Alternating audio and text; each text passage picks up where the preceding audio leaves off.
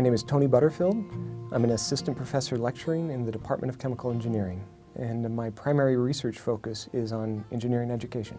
I became a professor in a way by accident. I never intended to go into academia.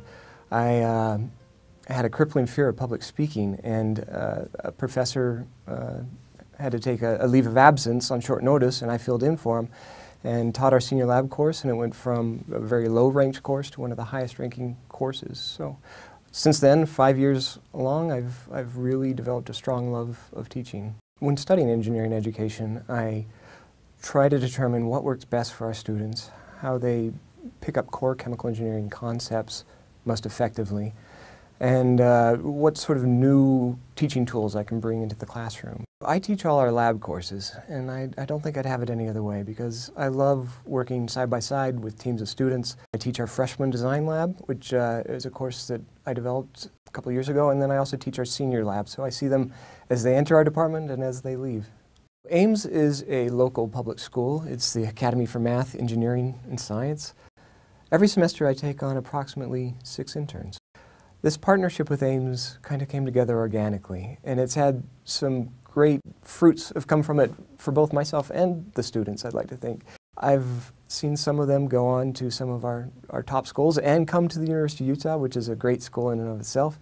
Uh, some of them have published uh, peer-reviewed journal articles before they've even graduated high school. What is most encouraging and heartening for me and impressive for me is to watch the students develop throughout the semester to going from very unsure of themselves and not communicating with each other very well to be given these design goals and coming into the lab and working as a team like a well-oiled machine. They start discussing with each other what their, their plan of action should be. Uh, that has been the most exciting for me. The thing that inspires me most about working with undergraduate students is definitely the, the raw potential that is there in the student. And uh, when you see that blossom into a very competent professional. Personally, for me, the great thing about working at the University of Utah and the College of Engineering is working alongside excellent examples of how to be a good professor. Um, I, I'm working in a department where the average student course rating is, you know, it's nearing the maximum. It's, it's tough to distinguish yourself. And so to be sitting here when some of my, my, my colleagues aren't, I mean, every one of them deserves accolades.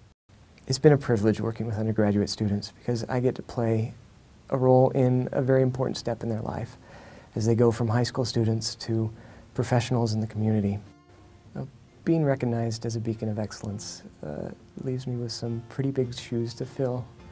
Uh, it's uh, almost intimidating and encouraging. I, I feel like I've, I have to work even harder to deserve this.